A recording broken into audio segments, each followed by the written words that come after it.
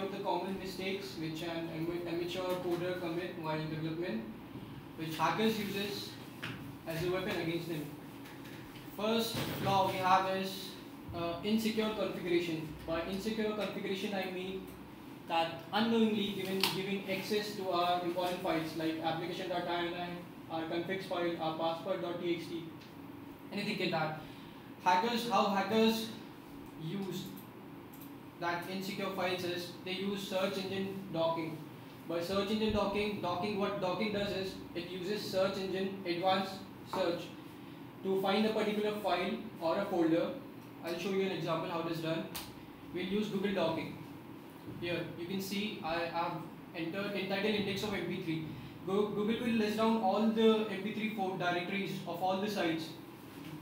So uh, just uh, in is a special tag uh, yeah. Google uh, which search the things in the title. So it will it will search for all the MP3 directories in all the sites which are public access. So yeah, we will open one site. So we get we get all the MP3 files of that folder. Similarly for ebooks, any of the ebook thing out. All the ebooks we have access. Now we'll try something evil. I'll write application.ini.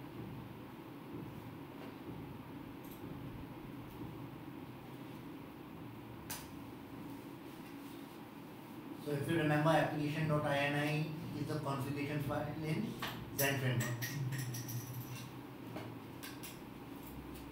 Oh, yes.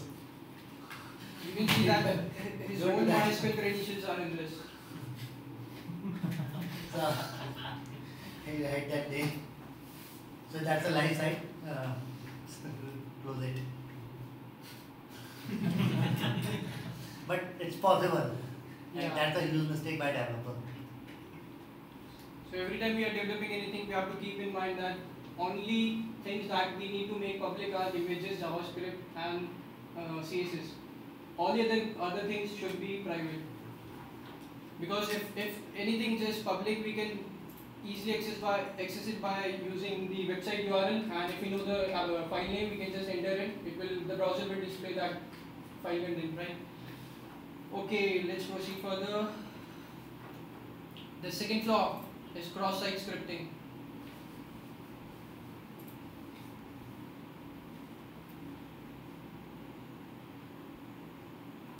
Here in the example, we, we have to uh, enter credit card number. So is it visible to everyone? Yes. If something is not visible, just uh, But we are not validating the credit card number should only have numeric values. But here we have, we have no validation in place. Uh, now we are sanitizing the data that we will enter. So I'll try to enter a script tag along with alert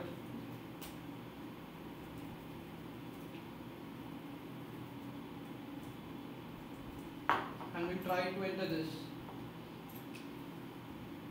Now since we are not validating or sanitizing the data,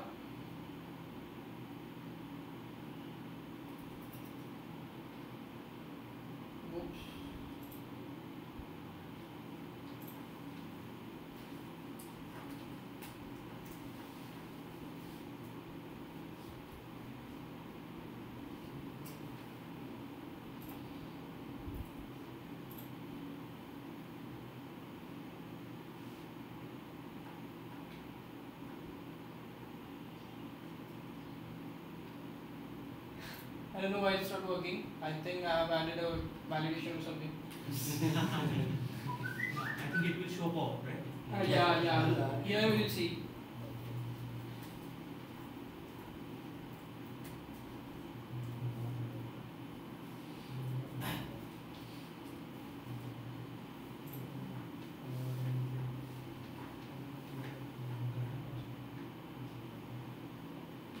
This one. so if it can alert, it can do anything. Yeah. Now, JavaScript, uh, any hacker can uh, insert any malicious code in it using JavaScript. Even I can uh, redirect this page with the cookie that has session ID of this page to any other site. Mm, right? Yeah. It will say that session ID in the database.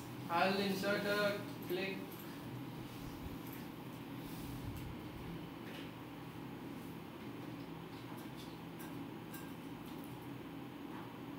It's not visible, but you can see. I'll click on it.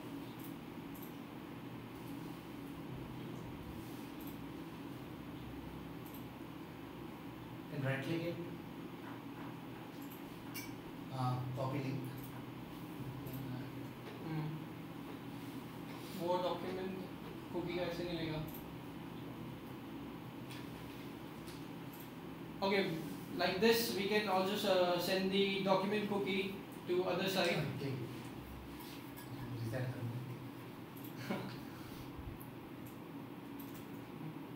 I'll show the other example phishing attack how phishing attack can be done using the XSS Then what I've done is I've created a new form by terminating the form within the message. So this form will get terminated here and a new form will get added here.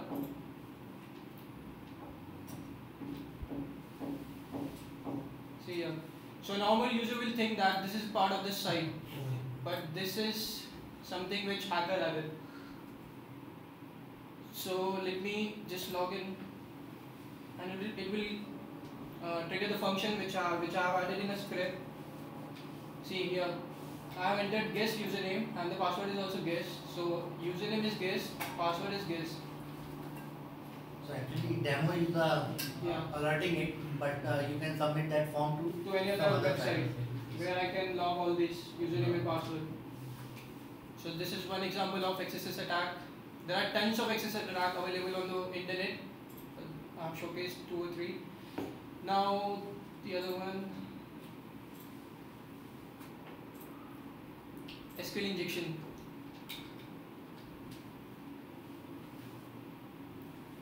SQL injection is very dangerous. It can jeopardize your whole MySQL server, your website, and if God is not on your side, then maybe your hosting server too. Because uh, I'll show you an example first. In this query, we are just interpolating the New York value. So it will get the, it will give the result of New York. But if I inject an OR here,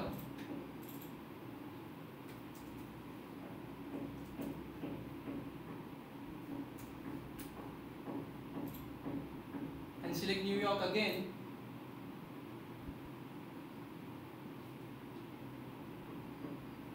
it will give me all the results. Because here the one will uh, one is equal to one will work. It's saying either station should be three or one equal to one and one equal to one will work for everything. Uh, so we can put there a drop and all that functionality. also. Yeah. We- We can drop all the database. We can do. Okay. And there are many softwares available on the internet, uh, which in which we have to just pass the URL of the website in which SQL injection is working. It will give you the whole database.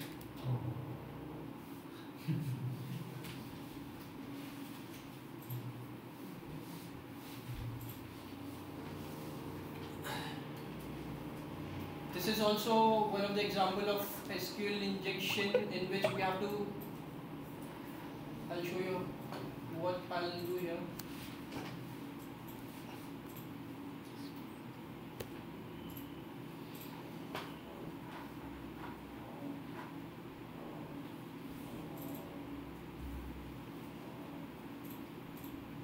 Now we know the password is test123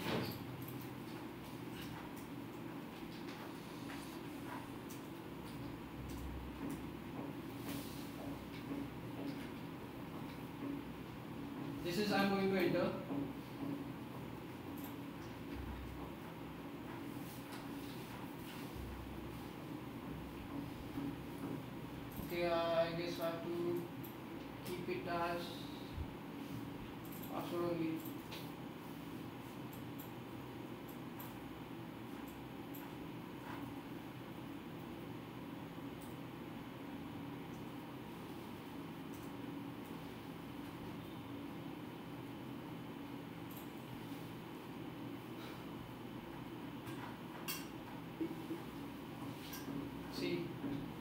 because what I did is I password is 123 I enter this command here and it gave me all the details.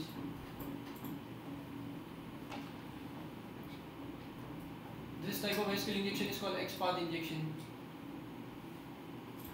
I don't What I got what you did the same what I did earlier.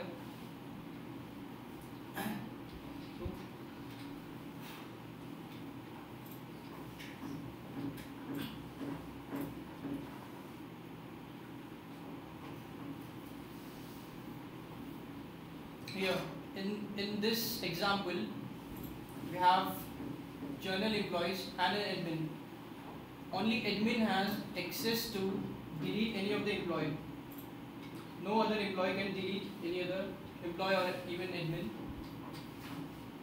Yeah.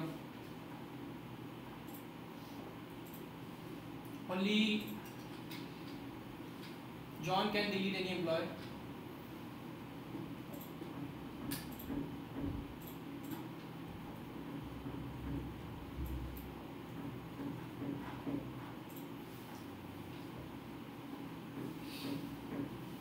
No other employee has option to delete. In this example, what we are going to do is we are going to intercept the traffic that we are sending from brow uh, browser to server. Let's say we have John logged in.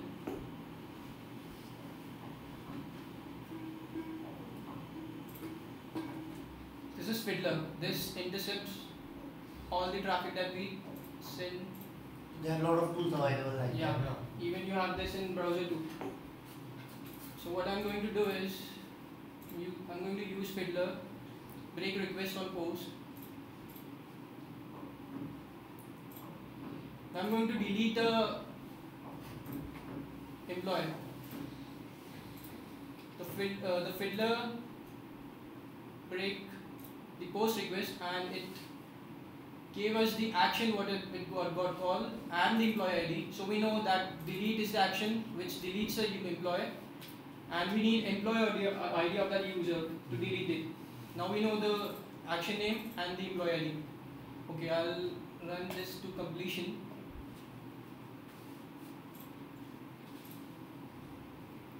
Now I'll try to delete this, any employee using an employee First of all, let me run this to completion again.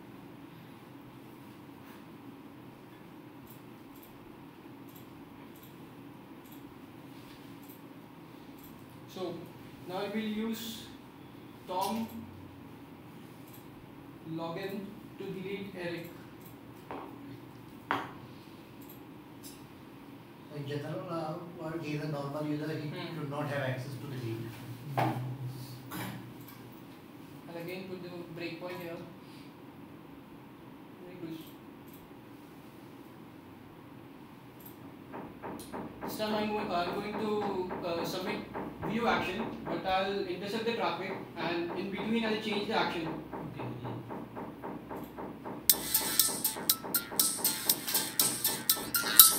Here I know what action got called, view. What I'll do is I'll change the action name here and will delete file and run this completion. So what happened here is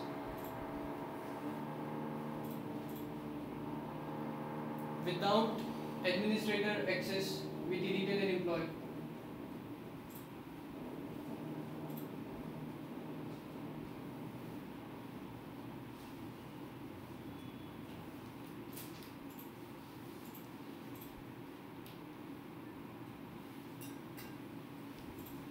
The number 5 has been deleted. We need ACL here. Only admin has authority to delete any user, but ACL is not here. So I haven't got what uh, he actually did in this example. he's asking what I did in this example. Like you just pass the authority that uh, that user was not authorized for that particular Yeah. action. Yeah. So tampered the data basically. I tampered the traffic, what I'm passing in the traffic, I tampered the data. Yeah, because you are not checking, checking on server side whether that action Yeah, is yeah, happening yeah. from the value user. Yes. Is. That's the problem. Uh, most of the developers don't do that. He's pointing you. We should check the permissions. Yes, correct. Improper error handling. In this example, the mistake is we are uh, passing all the data to our program, username and password. But before uh, checking the credentials, we are creating a session first. And if the credentials are wrong, then we will destroy a session again. But that is wrong. So if what what ideally we should do is, if the credentials are right, then only we can proceed to other session and all the other stuff. Show the code. You want to see the code? Show PHP. Here's the code. Yeah, we are saving the session first. Then we are checking the We are checking if the, it's a post request. We check user ID is set. If it uh, user ID not set, error message. Else, as means user ID set. Or to create a session. Right? yeah. So the bottom line, bottom line is we have to authenticate the data first, then only should proceed further. Here, if I delete this password field, then also it will give me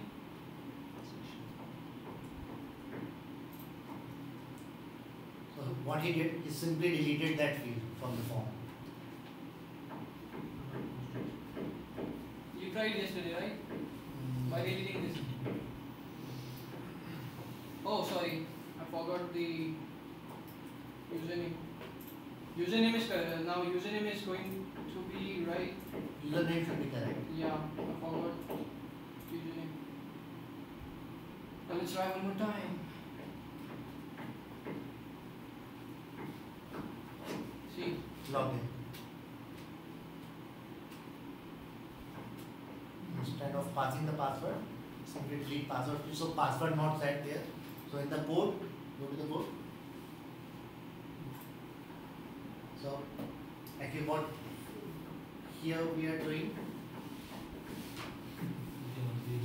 Check the password. yes, ID password, if password uh, wrong, it should uh, go to else, right? But since password field is not present,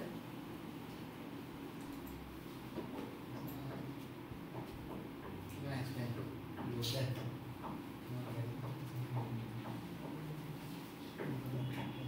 anyway. So these are the short demonstration that we made to clear the concepts, what things we need to secure and what things we need to take care of. Anybody, any doubt, questions? Actually, I have a site. Yeah. Uh, Actually, it was happening since many times